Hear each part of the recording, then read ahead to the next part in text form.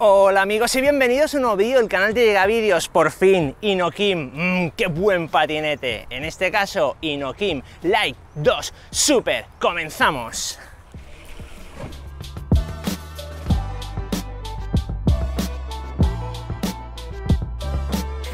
Pues sí compañeros, vamos a comenzar con esos datos técnicos que a todos os interesan. Motor trasero 350 vatios, vengan por aquí, los vemos más de cerca. Aquí lo tenemos, tracción trasera mucho más divertido que la delantera y además genera picos de hasta 600 vatios en esas cuestas donde necesitamos esa potencia extra.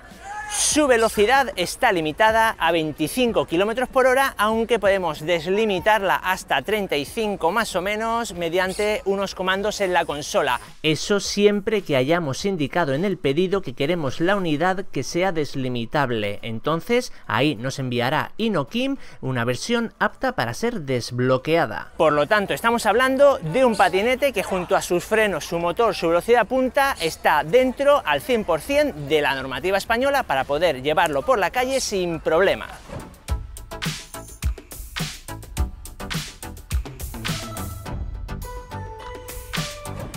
su batería, ¿verdad? Tema súper importante. Tenemos celdas de la marca LG. Eso quiere decir, o es sinónimo de calidad, de verdad. Cuando las celdas son de primera marca, se nota un montón. Son 36 voltios, 10,4 amperios y está alojada aquí en la base conseguiremos con una sola carga entre 27 y 40 kilómetros. Es un margen bastante amplio, aunque voy a hacer un vídeo también específicamente haciendo un test extremo de batería, consumiéndola del 0 al 100 para saber con mi peso 92 kilos en llano y con una temperatura veraniega qué alcance conseguimos. Y podremos cargarla de ese 0 a 100 en solo 5 horas gracias a su cargador de 2 amperios.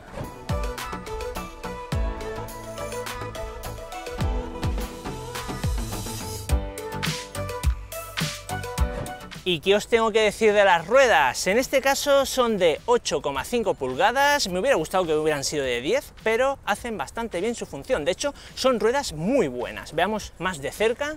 Aquí tenemos la delantera, es de aire y es de la marca Inokim, por lo tanto se supone que está fabricada por ellos. Antiguamente llevaba ruedas CST, que son muy buenas, y las han sustituido por estas, que se supone que han de ser iguales o mejores y esta es la trasera que es exactamente igual que la delantera y aquí al ladito veremos su base que tiene poco espacio entre su parte inferior y el suelo exactamente ronda entre los 6 y 7 centímetros. Eso quiere decir que andaremos muy muy pegaditos al suelo con lo que conlleva mayor control del patinete y estabilidad pero tenemos que tener cuidado al bajar y al subir los escalones porque posiblemente nos roce esa parte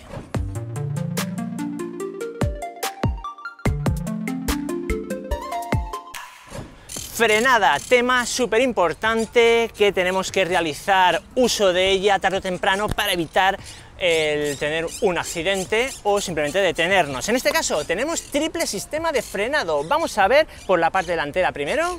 Aquí tenemos freno de tambor, ya siempre digo que este tipo de frenos a mí me gusta porque básicamente es mantenimiento cero, buena frenada delantera, pasamos a la parte trasera, y aquí tenemos freno de tambor, igualmente que convive con el motor. Está todo, digamos, en el eje integrado. Así que en la parte trasera, freno de tambor, y freno regenerativo, triple sistema de frenado. Vamos, que si este patinete no se detiene, no se detiene ninguno.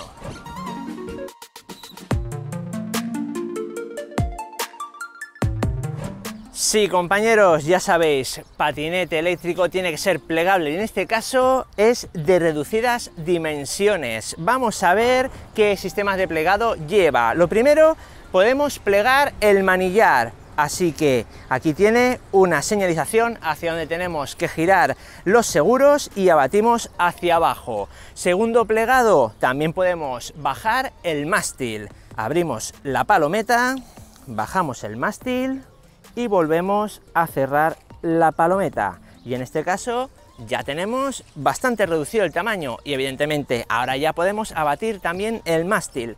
Tenemos un seguro que tenemos que liberar y ya podremos apretar con el pie el sistema de bloqueo que liberaremos y podremos bajar el mástil. Y en estos momentos ya podremos levantarlo. ¿Cuánto pesa? 13,7 kilos. Es súper, súper ligero.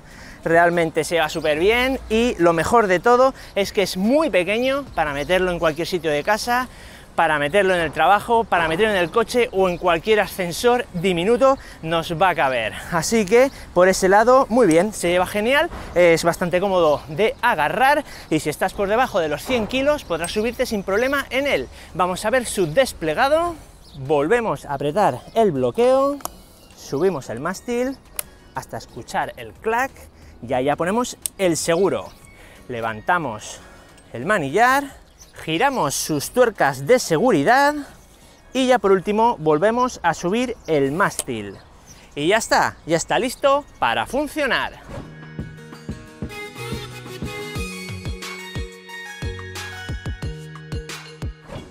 Vamos a ver su manillar y lo primero que vamos a darnos cuenta que es una calidad muy muy buena, está todo con serigrafías personalizadas y bueno, esto es la verdad, una vez que lo tocas eh, te das cuenta que, ostras, este patinete es muy, muy chulo. Empezamos por la izquierda, tenemos empuñadura de espuma, agradable, o sea, no se desliza, esto, bueno, es que está súper chula. Y además con el logo de Inokim tenemos la maneta de freno, que vamos a verlo un poquito más del otro lado, para que veáis que tiene un trocito como de goma que esto también ayuda al grip, a que no se nos deslice en caso que tengamos la mano un poquito sudada, agarre total. Seguimos, aquí tenemos la campanita,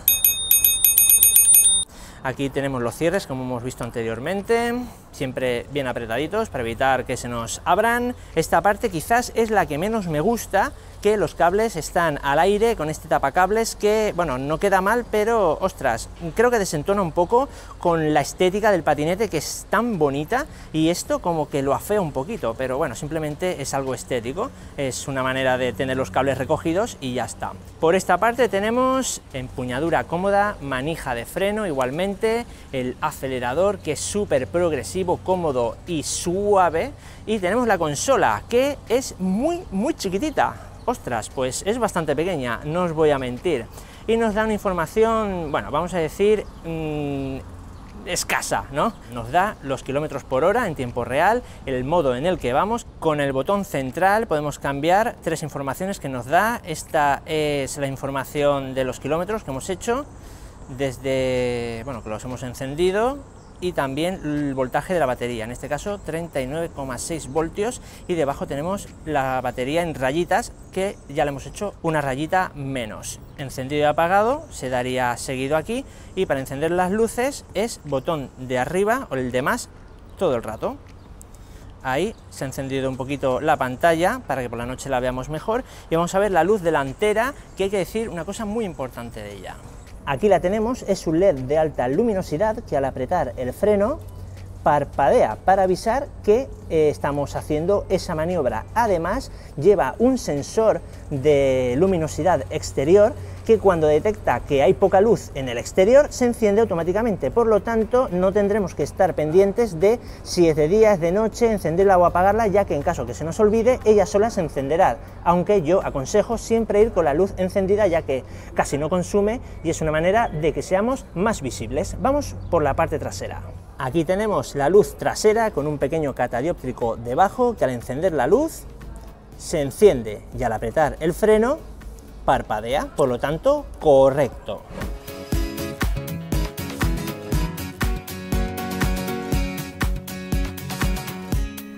Llega rampa detrás de mí, picos de 600 vatios, 92 kilos de peso, una cuesta de 200 metros muy, muy elevada, pronunciada a máxima exponencia. ¿Podremos subirla? Evidentemente, modo 3, el más rápido. ¿Qué tiempo vamos a hacer? Nos vemos arriba.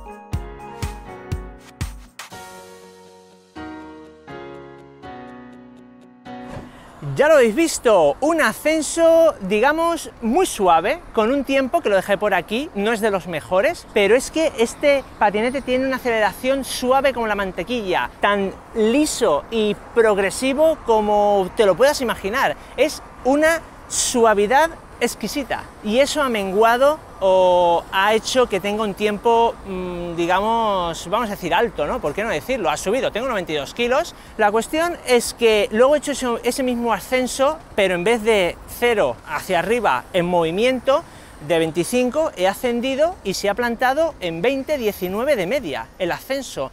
Entonces, claro, eh, lo que es potencia tiene de sobra para subir cuando vas en carrerilla. Lo que no tiene es ese tirón de cero de arranque que te hace y te pega. Algunos patientes sí que te pegan ese golpe, ¿no? Este no, este haces y te va llevando, te va llevando, te va llevando.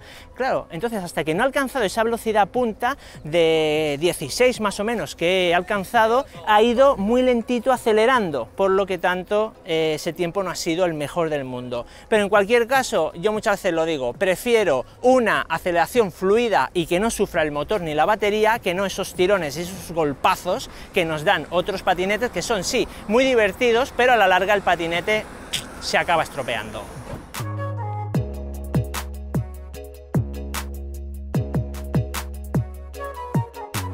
Ha llegado el momento de decir mi opinión personal respecto a este patinete eléctrico, el Inokim Light 2 Super, y realmente, ostras, me ha enamorado. Desde que lo saqué de la caja, que tenemos vídeo del unboxing y del montaje, os dejo por aquí arriba y si no en la descripción del vídeo, eh, si os interesa cómo viene embalado y todo eso, pues ese primer vistazo ya me encandiló, fue flechazo, pero literal, es un patinete que sí es chiquitito, ostras, lo ves y dices, jolín, pues es pequeño, pero una vez que lo pruebas, que lo usas, que te subes, que, que te da ese feeling, dices, ¡buah! Es que, es que solo le veo hasta que sea pequeño, una ventaja. Lo metes en cualquier sitio, lo pliegas súper bien y luego una vez subido, estás subido en algo muy bueno. Es que eso es lo que notas. En este caso es color negro. Los hay negro, blanco, naranja, azul, verde, creo. Bueno, es que lo puedes elegir en el color que venga más con tu personalidad. Y lo mejor es un patinete premium desde el momento cero en que lo ves hasta que te bajas de él. Es una experiencia premium no hay más. ¿Tiene sus ventajas? Pues muchas. Sus inconvenientes, la desventaja mayor que veo yo son estas dos. Ruedas de 8,5, me hubiera gustado de 10 porque aunque no se hace para nada el camino malo, aunque haya un poquito de bache y tal, bien, fenomenal, no tiene suspensión, pero al ser las ruedas de muy buena calidad y de aire absorbe, pero de 10 hubiera sido un poquito mejor. Y el tema de la altura, que si bien para mí no ha sido durante todo este vídeo, que he hecho como casi 10 kilómetros, ningún impedimento, de hecho hemos saltado y todo un buen escalón, bueno, hay gente que a lo mejor sí que consigue o, al final acaba rozando esa parte inferior. Bueno, a ver, que es de aluminio, no va a pasar nada, eso está protegido, vamos, sin problema la batería, pero mm, te duele. Cuando rozas, haces ¡ay! porque no quieres dañarlo, es un patinete muy bonito. Así que bueno, quitando las ruedas y lo que es la altura, que es simplemente el lado negativo, positivo, ya lo he dicho, más estabilidad, vas más pegadito al suelo y realmente se hace una conducción muy, muy chula, muy hermosa y ya está. Bueno, os dejo la descripción del vídeo, enlace y recordar que vamos a hacer vídeo de extremo de batería de 0 a 100, a ver cuánto hago con mi peso y algún vídeo más porque este patinete creo que se va a quedar mucho tiempo en mi casa porque va a ser como mi, mi chiquitito para todos los días. Bueno, nos vemos aquí en el canal de Llega Vídeos con un vídeo igual o mejor que este. Hasta luego compañeros, chao chao.